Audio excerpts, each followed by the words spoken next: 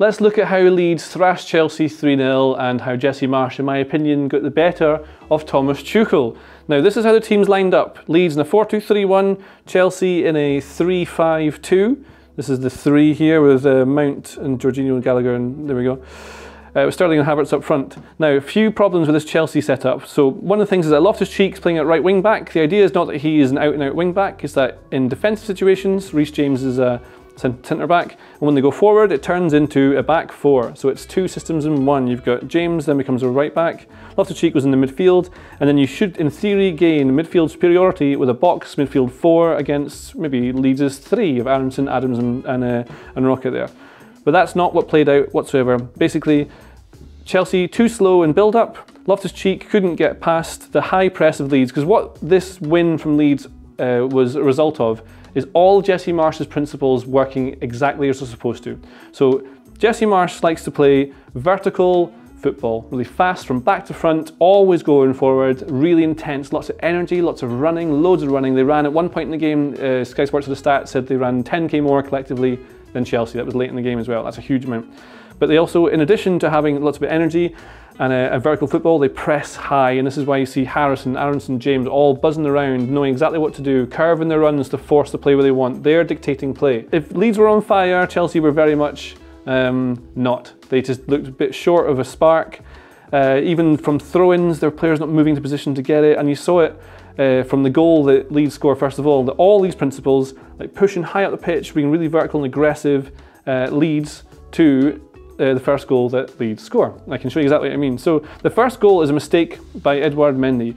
And what happens is that um, there's a turnover in play here. I think Harrison or someone puts the ball in the middle. Gallagher reads it, intercepts, there's a turnover. But as soon as that happens, Leeds immediately just go straight into him. They just hound him so that the only option he's got safely in that split second decision he's got is to go back to the goalkeeper. In this situation now, because Aaronson's charging up and Rodrigo's charging up to block the passes, what these players here, James and Koulibaly, because they're more central at this actually in the situation, these guys should now instantly sprint wide to give a clear, easy passing option so Mendy's got an easy pass. Tuchel wants him to keep possession. Mendy knows he's not really allowed to kick the ball long. Kick it long, you lose the ball, Leeds goes straight back through you. So that's the whole point of that. Mendy, when Aaronson's running towards him, is waiting for this to happen. But Silva, James, Koulibaly, Cucurella, they all stand completely still and the angle never comes. So by the time Aaronson gets to him, Mendy's waited too long, then he tries to dribble past him, that is the mistake, and that's how Leeds score. And I can show you exactly how it looks, because then you can really see what I'm talking about. So here we go, right, this is it. This is Gallagher intercepting. I think it's Dan James who makes the pass. As soon as the ball's turned over, these guys sprint round, come round to try and take him out of the game. Gallagher, only option, you can see there's no other players in a position to be able to receive it. If he goes short, they're going to get pressed, too dangerous, has to go back to the goalkeeper. It's exactly what happens. Here's the, here's the mad press. Two players go in for him straight away. They're going to follow it up. It's the only safe option. It's the right choice from Gallagher to go back here. Now the ball goes all the way back to Mendy, who's waiting. Look, here they are, the centre backs. He should be going here. He's waiting for maybe a chip pass. If this ball is chipped over the top because of the running player, uh, there's a good chance Leeds will fly in, win that turnover, and again, it's the same problem. So you, you don't want to give away possession in that sort of area. But Cucurella doesn't move. Koulibaly doesn't move. Silva stays there, he's probably the one that's fine. But Reece James should be going here to give the option, and he's waiting for it. He's waiting, he waits, he waits, he waits, and it's too late. Aaronson comes in, looks like he's going to clear it. He doesn't. I think they all think he's going to clear it, but he's not. And then that is when he makes the mistake of trying to dribble past him, loses the ball, and Leeds score. Now, another thing that Leeds have been doing under Jesse Marsch, which has worked very well here, is focusing on marginal gain. So when you don't have the best team, I mean, Chelsea's players you know, a lot more famous, therefore you think they're better. But what Leeds are trying to do here is uh, gain any advantage they can, and one of the things is in set pieces.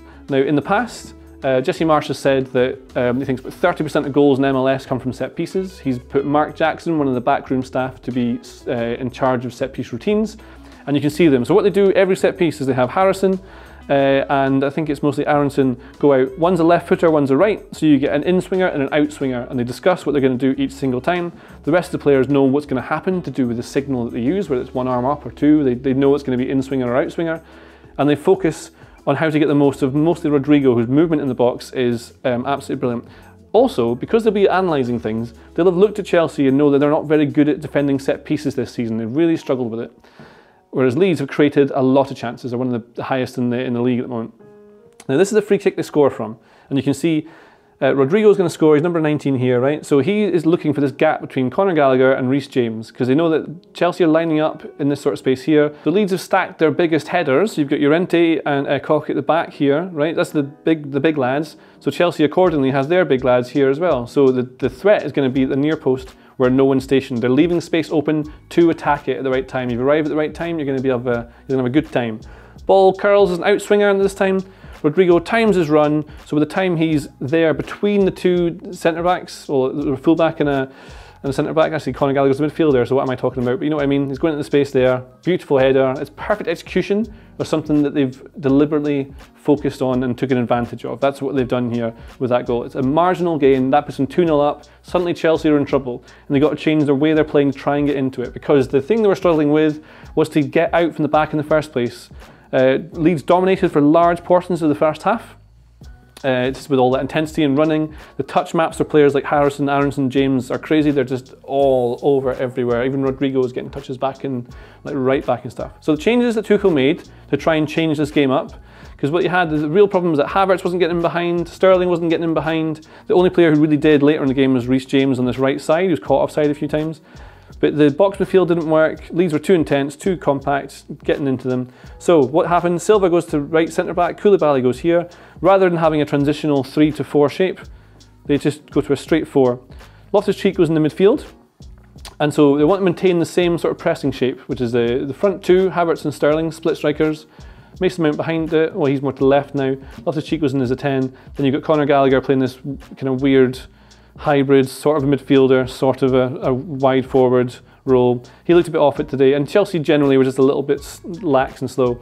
But this gives them more attacking options, and you get James on the on the right here as well. You get Cucurella pushing here. But if you do this, obviously, what you then leave there's lots of space in behind. And what Leeds are really good at doing is getting from attacking shape to defensive shape really quickly. Their transition uh, is really good, especially in this game. So what you'd have is even if there's a turnover somewhere high in Chelsea attack, and they have a, at one point they had a 2v2, I think it was Sterling and Havertz were 2v2 with someone, uh, Leeds players are so quick to get back, putting so much effort that by the time Chelsea are trying to then create a chance in the edge of the box, everyone's back in the box to try and block it off. They're really, really, really good at this, the transitions.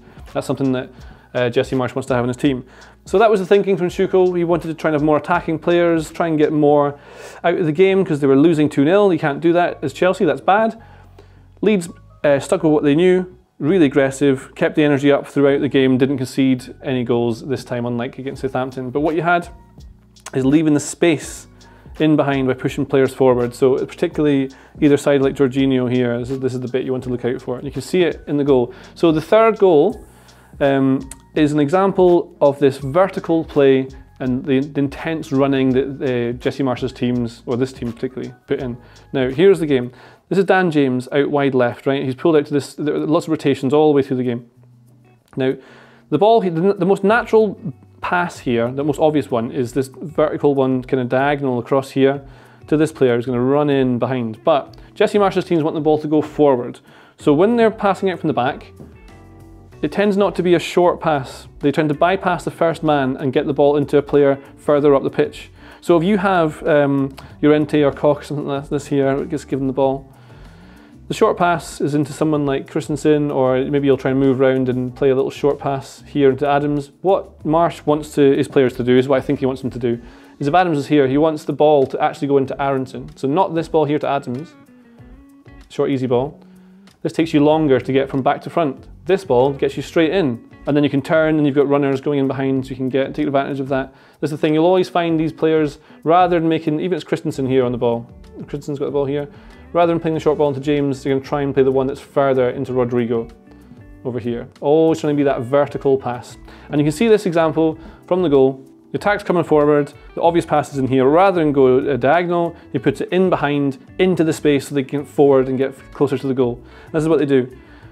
Then James gets in behind on the left, he's right footed, so when he gets here, you can spot the, the chance is maybe going to be here, but Chelsea are quite good at getting back in time. He's not very trusty with his left foot, so he turns onto his right.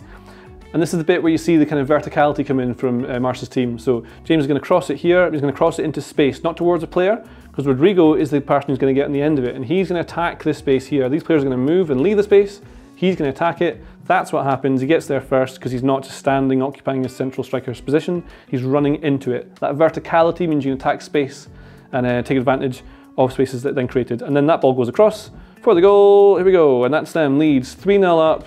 Chelsea completely done in. Uh, Tuchel, not a happy boy. I think he'll probably pay some money to some other teams to buy some players because there's things that aren't quite working with that Chelsea team and they could do with a few things. Maybe another centre back, maybe a striker who can get in behind or link better with build up. There's a few things they can address. But that's what happens with Leeds. Really impressive performance. Jesse Marsch's principles of play shining through like a crazy diamond. Uh, so please subscribe to the channel and uh, for more diamond related fun. Yes. If you like this video, please consider subscribing to the channel. The Athletic brings you the best sports journalism in the world in a personalised experience, connecting you with the stories and teams that you care about the most. There's coverage of 13 sports, plus direct access to world-class journalists through live Q&As, discussions and podcasts. Not to mention, it's all ad-free. And you can try it now for free for 30 days by clicking the link in the description.